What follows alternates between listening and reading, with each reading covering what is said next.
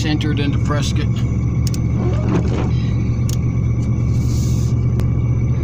Taking Lori to work.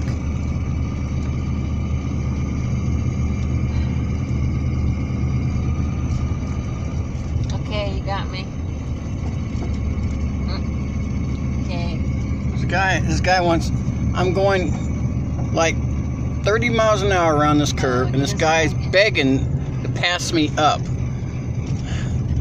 Like, I am late for work. It's like, it's okay to be late for work.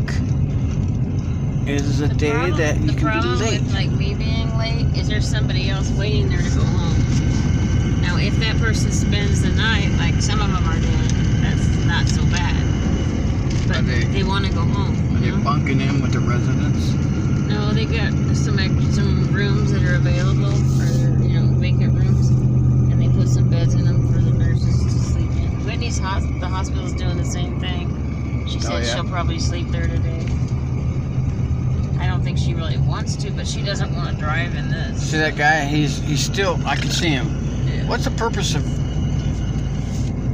pass me on a curve? I know that was a crazy thing because he thought he was all that. I mean, People just truck- don't think. They just do You what they want to feel like doing. He's got that truck and he thinks he's all that. That's what it is. So once he has a problem with being all that and realizing his truck might not make it, then he'll slow down go, oh, I shouldn't do that. Right now, he's he thinks he's untouchable.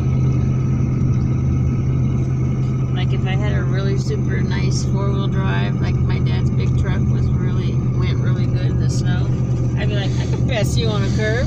oh yeah. What time is it?